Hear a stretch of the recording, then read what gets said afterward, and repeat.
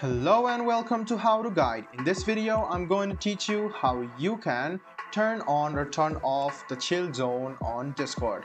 So let's go ahead and start the video.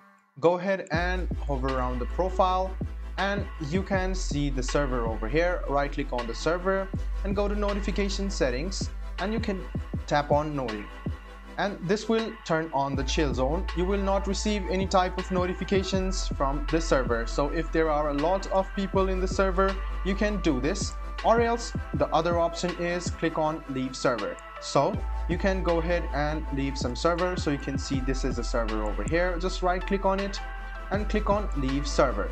Or you can see hide muted channels and notification settings over here.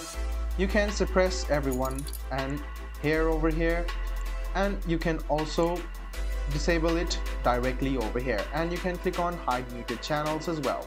So this is how you turn on the chill zone. And the other ways is to click on the screen over here on any server. Click on P and enter on your keyboard. And this might also turn on the chill zone. This might or might not work on some places. So you can do this.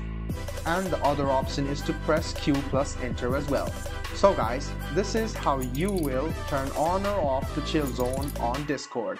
I hope this video was helpful for you. If you still have any kind of confusion, please do mention us on the comment section down below. Like the video, subscribe to the channel and do hit the bell button for more. Hope to see you in the next video as well. Until then, goodbye, take care and make sure you enjoy.